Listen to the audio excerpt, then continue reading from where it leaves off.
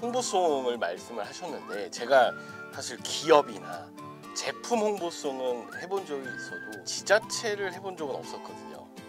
근데 어떻게 해야 될까 고민을 많이 하다가 그러니까 흥이 있는 그 도시를 좀 표현하면 어떨까라고 생각하면서 흥이라는 단어를 가지고 만들면 재밌겠다라고 해서 이제 IC 흥 나는 시흥에서 흥을 보았다 이렇게 이제 주제를 잡고 만들게 됐고 정말 처음 해본 그 홍보 노래였는데 되게 재밌었어요. 처음이고 가사를 아이돌 노래를 많이 하다 보니까 사랑 가사나 뭐 내가 잘났다라는 가사는 많이 써도 들꽃이 나오고 네, 노을이 나오는 가사를 쓴 적이 많이 없었기 때문에 되게 재밌었고 네, 처음 해봤지만 되게 유익했습니다. 되게 그 중복적으로 많이 나오는 게 자연 경관 그리고 등대. 그런 감성적인 도시이지 않을까라는 뭐 이렇게 명소가 많으면 그 장소에서 챌린지를 하면 유의미하지 않을까라는 생각을 했었고 지자체와 일을 한다는 거가 그러니까 제가 있는 씬과의 그런 홍보 포인트도 다르고 접근하는 방식도 다르잖아요. 그래서 이렇게까지 많은 분들이 관심을 가져줄 거는 생각은 못했고 그냥 그 제가 만든 음악의 가사와 그 음절이 시흥시라는 그 도시를 표현하는 이제 누가 되지 않을 정도였으면 좋겠다 정도의 기대감이었었지 많은 분들이 관심을 가져줄 거란 예상은 하지 못했어요. 솔직히 유명인보다는 시흥과의 연관성이 없는 분들은 섭외를 안 했으면 좋겠어요.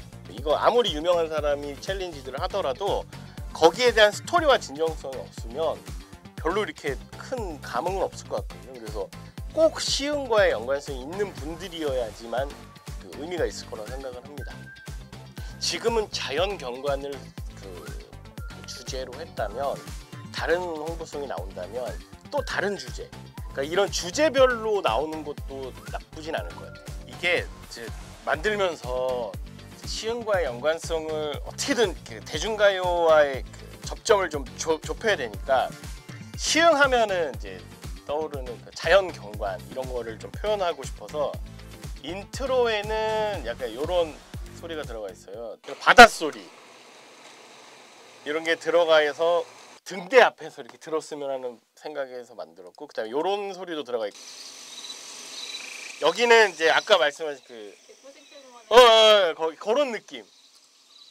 여기 바다 소리가 좀 다른데 앞에는 살짝 그 저녁 노을 질 때의 바다고 여기는 그 달빛이 되게 예쁘다고 하니까 산으로 올라간 후에 그렇게 하면은 좀 더 이렇게 전달이 잘 되지 않을까라는 생각이 들었어가지고 네.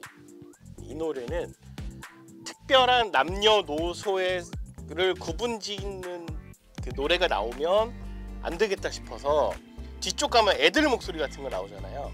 그 이제 그 애들도 부를 수 있는 키와 멜로디여야지 될 것 같다라는 생각에 이제 그렇게 만들게 됐어요. 아 필요하시면 어, 리믹스를 하시던 바꾸시던 다 하셔도 됩니다. 그러니까 많은 버전이 나왔으면 좋겠고 그걸 가지고 저랑 콜라보도 했으면 좋겠고 재밌는 거 많이 했으면 좋겠습니다.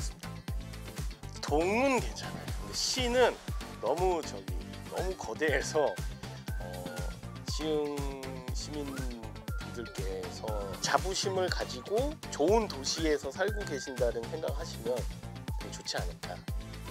굉장히 행복한 도시 시흥에서 여러분들 흥을 꼭 보시길 바라겠습니다. 아이시흥 시흥시 화이팅!